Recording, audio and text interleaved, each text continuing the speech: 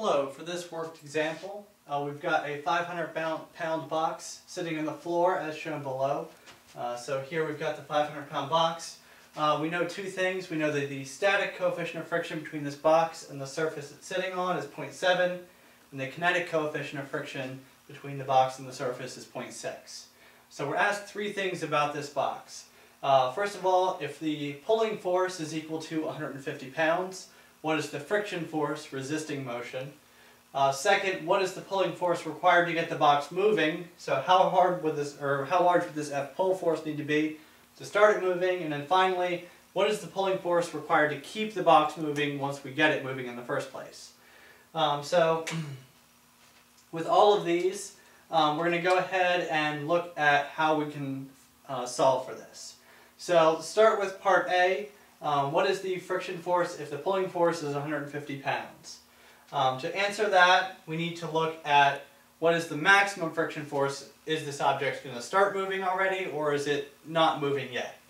Um, so to figure that out, we want to draw a free body diagram of our box.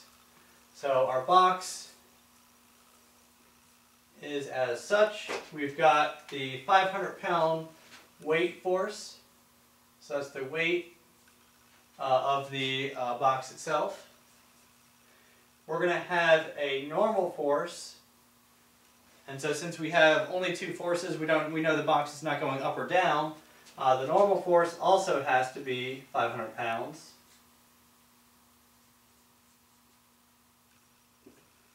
Uh, and then we've got the pulling force. And we're going to have a friction force.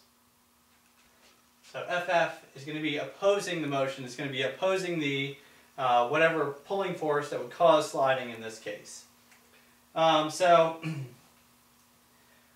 if F pull is 150 pounds, we need to figure out what is the maximum uh, friction force this can sustain before it starts sliding. Uh, and that FF max, I'm going to call it, is going to be equal to the static coefficient of friction. Let me do this.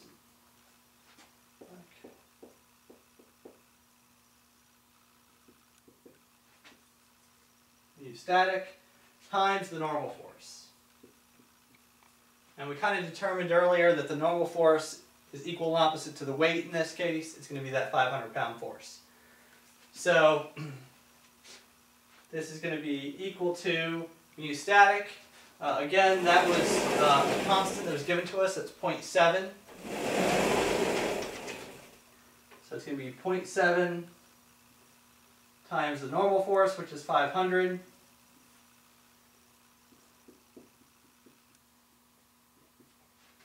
And that whole thing ends up being equal to 350 pounds.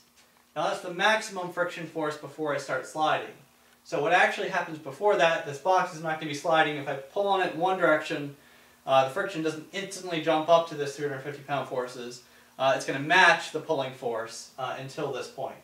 So if I'm pulling on this, um, this is for part A, uh, if the pulling force is 150 pounds and the maximum friction force is 350 pounds, um, the friction force at this point, FF, is just going to be equal and opposite to the pulling force. So 150 pounds, exactly enough to keep the body from moving at all. So part B is asking well, what is the pulling force required to get this box moving? If 150 pounds uh, is not going to move it, we're just going to have an equal and opposite friction force.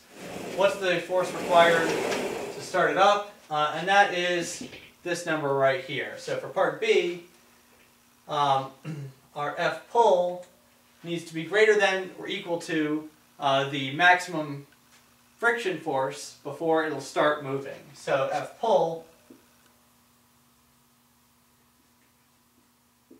is going to be equal to 350 pounds to start the box moving. And that's just equal to this. It's the static coefficient of friction times the normal force. So for, box, for part C, we're asked, you know, what is the pulling force required to keep the box moving once I get it moving in the first place? So now I'm pulling, pulling, pulling, suddenly it slips. Uh, now what do I need to do to keep it moving?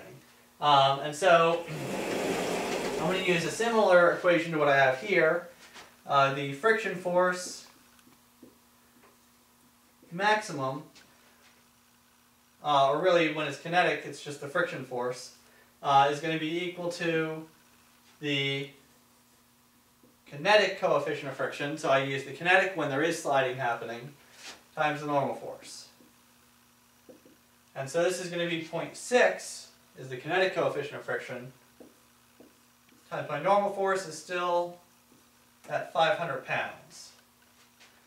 So FF, while this is sliding, is going to be equal to 0.6 times 500. That gives me 300 pounds. And so in order to keep it moving, uh, at least at a constant rate, I'd need a pulling force of at least 300 pounds.